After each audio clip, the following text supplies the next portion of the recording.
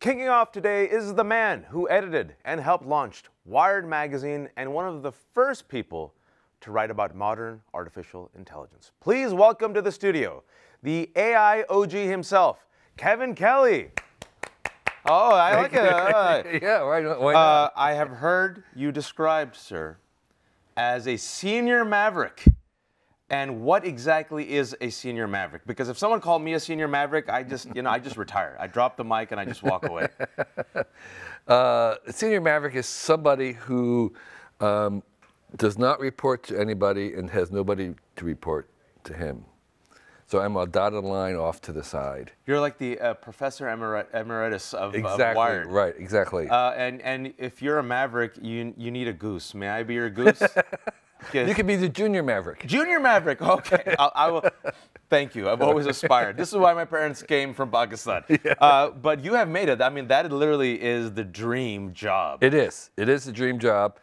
Um, it'd be nice if they paid me too, but I don't get paid. Bro, your name, you're senior maverick. That's it's, you're set. Right, Exactly. yeah. Just just be comfortable with that. It's fine. But the reason why the, the, you have this title, and in, in the world of geekery Yeah. and technology and Wired, it is an auspicious title. It's a station, and the reason why you've reached it is because you've been in this game for a long time. Yeah.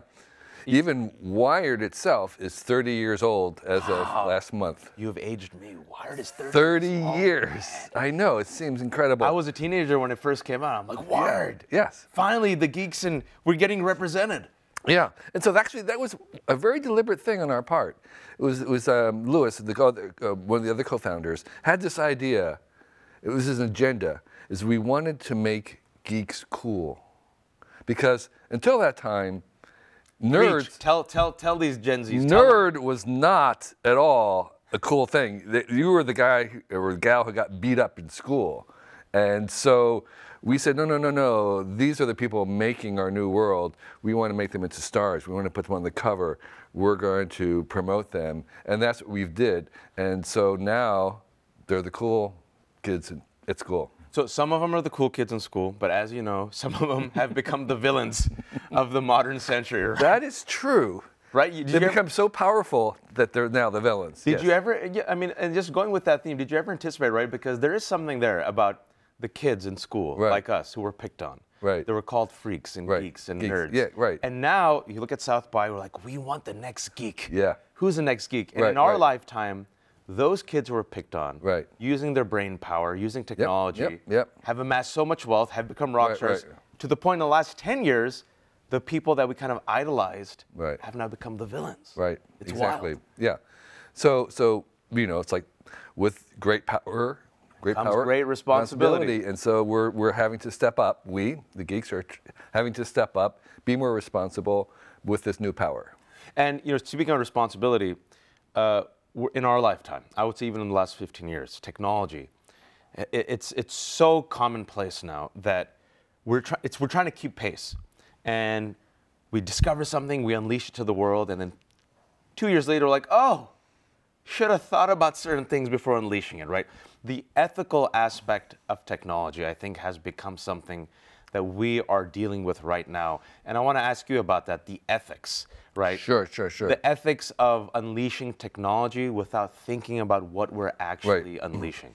So, actually, I think AI in this case is really, really remarkable because we have been thinking about and discussing You have, in particular. for 100 years. Mm. There's been no technology ever before where we have been discussing it for so long before it actually came. So, so, so, so we've been rehearsing this for a century at least, trying to anticipate what's going to happen with AI, the number of science fiction stories. I mean, there was no anticipation of X-rays, say, people discussing it for 100 years before it came. And so, so, so we have had a lot of practice and, and it's really helped. But the problem is, is that we can much easier, it's, it's much easier to imagine all the things that go wrong than it is to imagine the things that go right. And that's what's interesting about you is because you are an optimist. Right. We'll get into that, but it is true, right? Growing up, we had Asimov, we had uh, Kubrick, Kubrick. Uh, we had Skynet.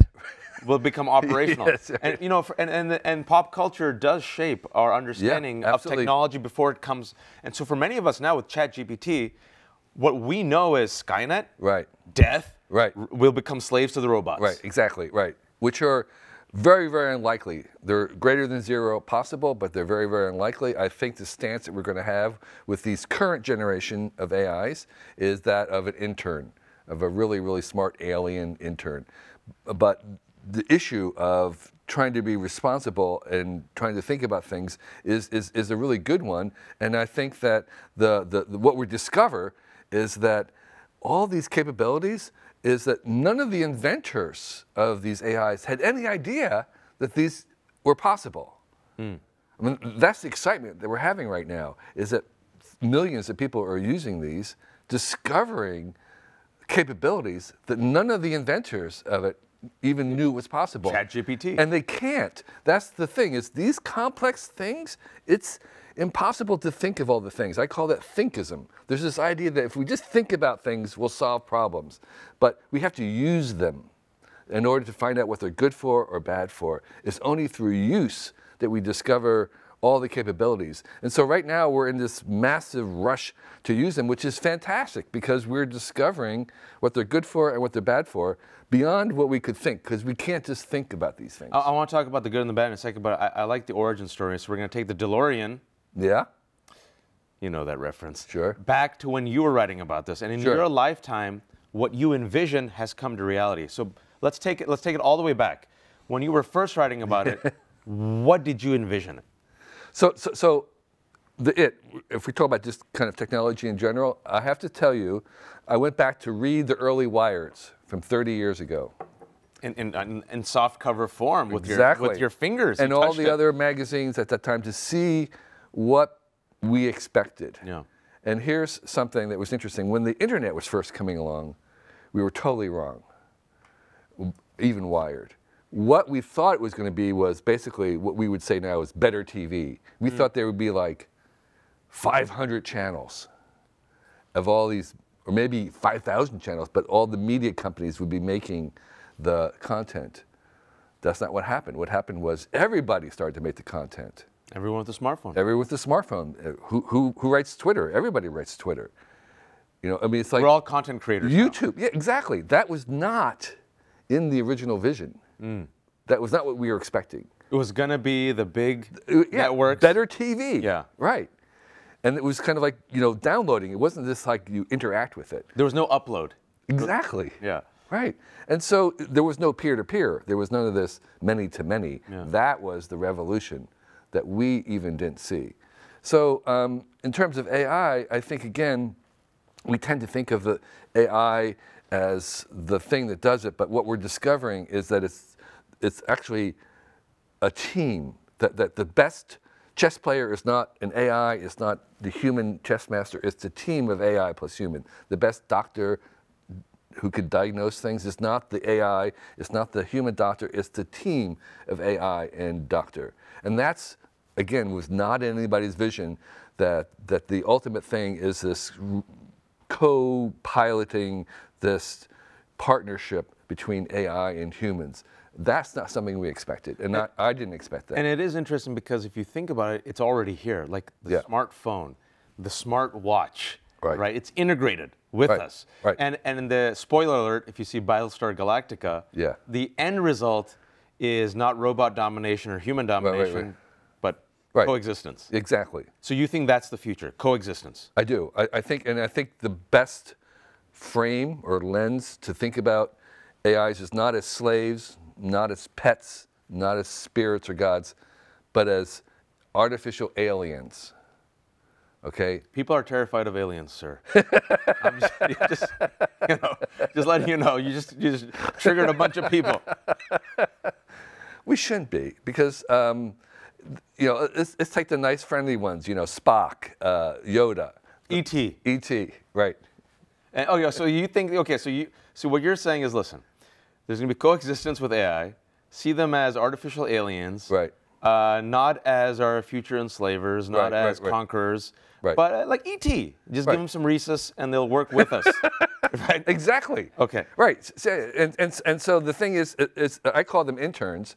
Yeah, right you now. mentioned you have you have a quote. You said, um, "Dub AI as a universal intern Intern. and partner." a personal intern. And so the idea is is that um, um, you want to check their work. Mm. They, they do all this stuff for you. As they're doing right now with As- ChatGPT. but you have to check their work. You can't release it. It's embarrassing if you release the intern's work because they'll. That's that's the intern. Because here's what it is. No disrespect to the interns here. We love you and value you. Your Right, work but we gotta check your work. We just gotta check it. That's all. Right, exactly. And so the thing about these way these things are trained is here it is. They are trained on all the human content that's been generated, the best and the worst. Mm. And so what they have, what they get out is they get the average.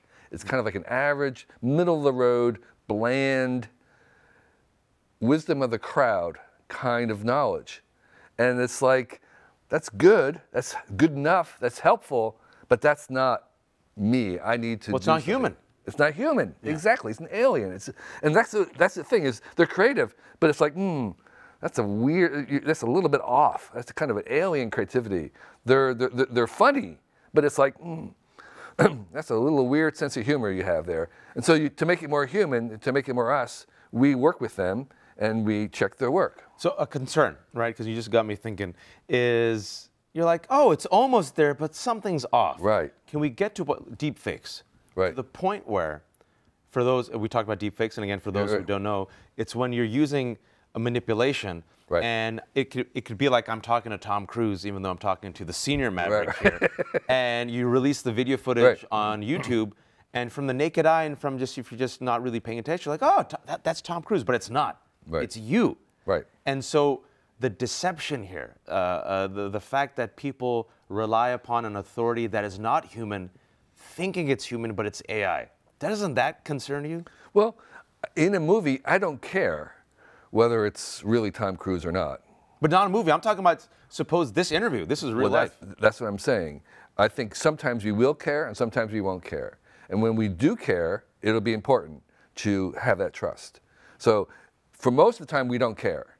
But when we do care, like in news, we're going to say, no, no, no. What's the source? I need to know this. What's the verification? This matters about whether it's real or not. And there, by the way, there are always ways to tell whether something's real or not. You can use AI to say, is that, is that AI? And it costs something, so there's a cost to it. And if we're willing to pay that, we can tell.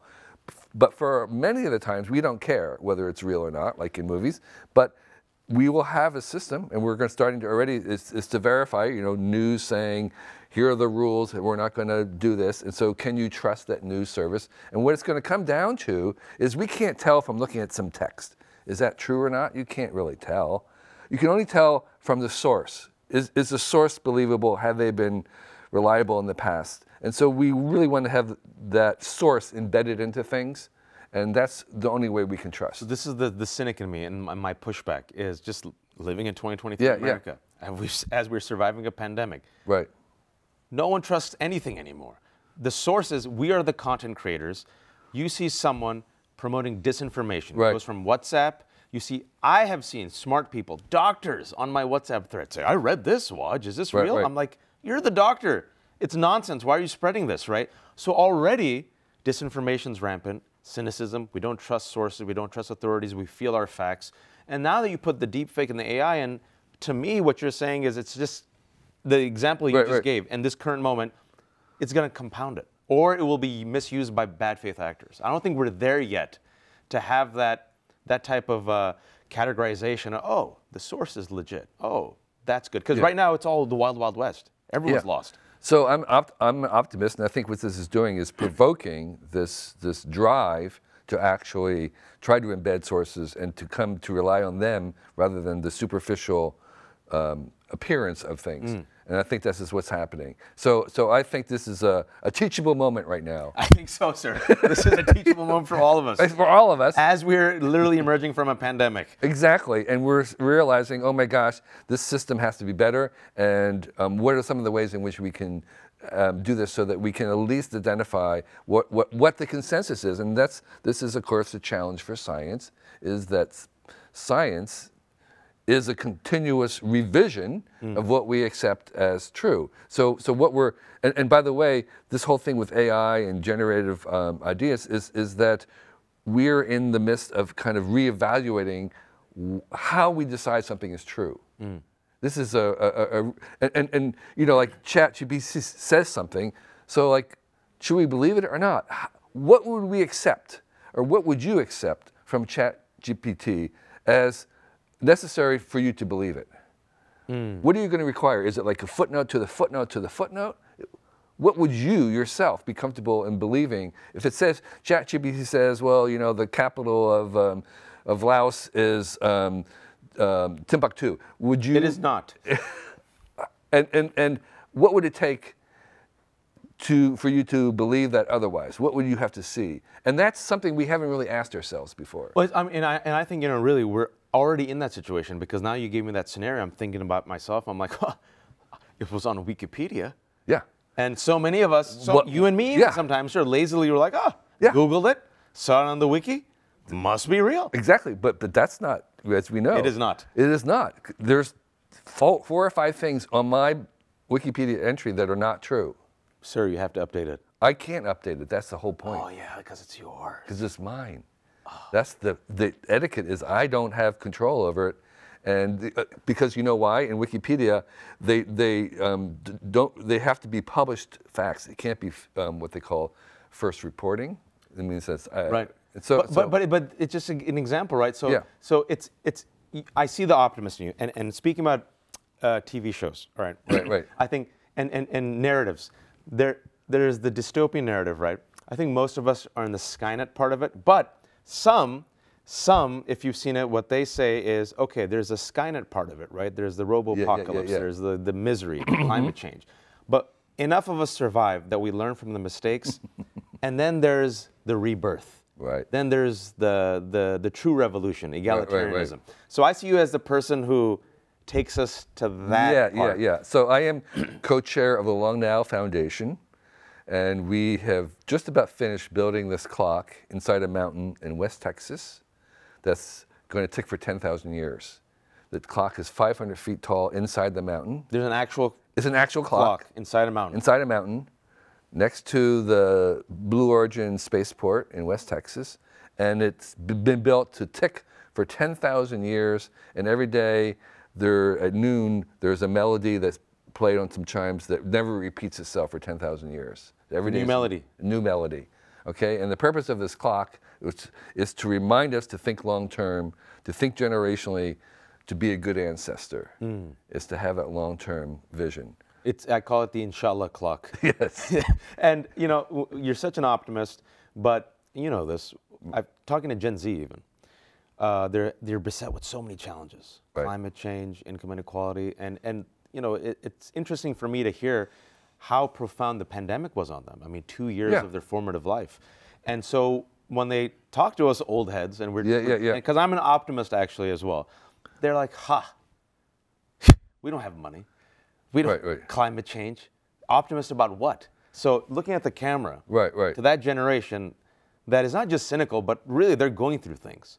What's the case for optimism? So, so, so you want to be as optimistic as you possibly can, because really good, complicated things that we are would like to have are not going to happen inadvertently. They will only happen if we can imagine what they would look like and then to believe that they are possible. They're not going to just happen haphazardly by themselves. So we have to have a vision of what it was that we would like and then to believe that they're possible to be made. And that's really the only way that the great things in the past have been made by people who believed and saw what they could be and then believed that they could come about and then made them. And so to in the end, it's only going to be the optimists who are going to shape our culture. So you want to be on the side of the optimists to make your vision possible. Senior Maverick, it would be an honor to be your goose. Thank you, sir. Junior Maverick, thank you for having me. I appreciate it. You can discover much more about Kevin and his work via his website, kk.org. We'll be back live at 11 a.m. today with the directors and stars of the new documentary Going Varsity in Mariachi. I'm Wajahat Ali. Thanks for watching.